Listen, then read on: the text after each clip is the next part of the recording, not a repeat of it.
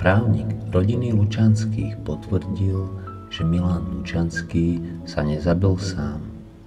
Závery krajskej prokuratúry nepreukazujú nič a sú od A po Z pochybné. Presne s týmito istými dôkazmi som disponoval niekoľko mesiacov a rád by som poďakoval doktorovi Miroslavovi Radačovskému, že dnes povedal pravdu na plné ústa. Oficiálna verzia o Lučanského samovražde je absurdná. Podľa nej sa Milan Lučanský sám prihlásil na polícii, aby si mohol samovylúpnuť oko a potom sa zabiť. Medzi tým sa stihol tešiť na Vianoce a v deň svojej smrti si ešte na celú požičal knižku, ktorú si chcel prečítať a potom sa z ničoho nič rozhodol, že sa obesí. A urobil to tak zázračne, že na krku ani nezanechal škrtiacu rýhu. Toto je taká znôžka nezmyslov, že tomu nemôže veriť naozaj nikto príčetný na Slovensku.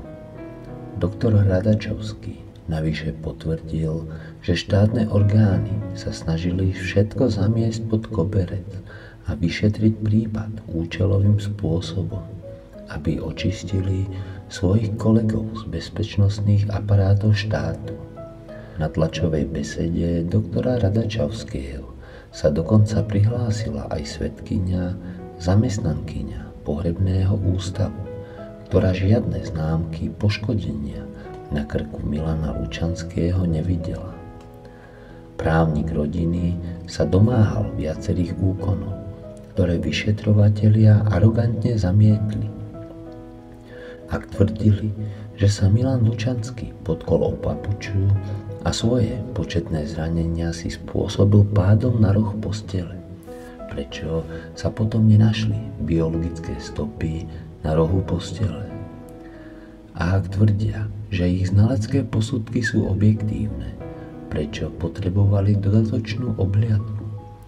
A prečo po pochybnostiach rodiny nepristúpili na žiadosť doktora Radačovského o ďalší znalecký posudok? Čo skrývajú? V celom prípade je neuveriteľné množstvo pochybností. Ako vznikla 5 cm jazva na temene v nemocnici v Ružomberku? A prečo o nej lekári klamali? A ako je možné, že vtedajší riaditeľ nemocnice dostal onedlho odmenu za to, ako ututlal celý prípad a stal sa ministrom zdravotníctva. Ako je možné, že vo väzbe generála tríznili a podľa svedectiev ex-príslušníka Naky mu odopierali listy od cérky a potom sa Čurilovci smiali na tom, že zomrel.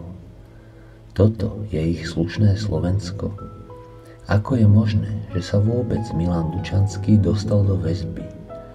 Veď Lipšicov zástupca Kysel preukázateľne klamal pri návrhu na bezodné stíhanie, že rodina Lučanských disponuje bytom na Flóride, ktorý medzi tým už dávno predali. Všade samé lži. Celý prípad proti generálovi bol postavený na výmysloch kajúcníkov – ktorý z hodou okolností obhajoval Daniel Lipšic. A kľúčový svedok sa potom zastrelil, lebo mu akýmsi zázrakom nechali doma zbrane.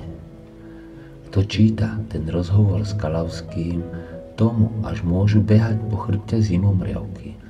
Tam šlo už nielen o toho mafiána, ktorého našli obeseného, ale dokonca ešte aj jeho žena, keď začala hovoriť, že by v tom mohli mať prsty elitní vyšetrovatelia znaka, tak jej vtrhli do domu a zastrelili ju. Samozrejme, nevie sa kto, ale Kalavský vyslovuje podozrenie, že by to mohli byť títo istí ľudia. Alebo ten BM, človek, ktorý usvedčoval Milana Lučanského, zjavne klamlivo, zjavne účelovo, sa zrazu ocitne doma so zbraňami, ktoré by nemal mať v držbe, lebo bol vo väzbe a jednou z tých zbraní sa zastreli.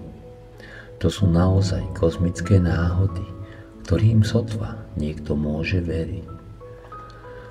V takýchto podozrivých kauzách, ako je prípad Milana Lučanského, kde väčšina Slovenska pochybuje, či to naozaj bolo tak, ako tvrdí pani Kolíková a ďalší, ak sa zrazu kľúčový svedok sám zastrelí, to by bolo trápne aj v bečkovom filme. Takéto veci sa jednoducho nedejú. Som presvedčený, že ak takto do radu zomierajú ľudia, ktorí by mohli poukazovať na špinavé veci, ktoré sa dejú v NAKA, prokuratúre či medzi niektorými sudcami, mám na mysli najmä konkrétnych vyšetrovateľov, prokurátorov a sudcov. Sú to príliš veľké náhody na to, aby sme ich nebrali vážne. Príliš veľa náhod, príliš veľa nejasností. Pravdou ostáva, že Milan Lučanský zomrel kvôli vláde a potom, čo som si vypočul tlačovú besedu Miroslava Radačavského a Adama Lučanského, ani trochu nepochybujem o tom, že Milan Lučanský bol zavraždený a že niekto hore sa pokúša prípad zamiesť pod koberec.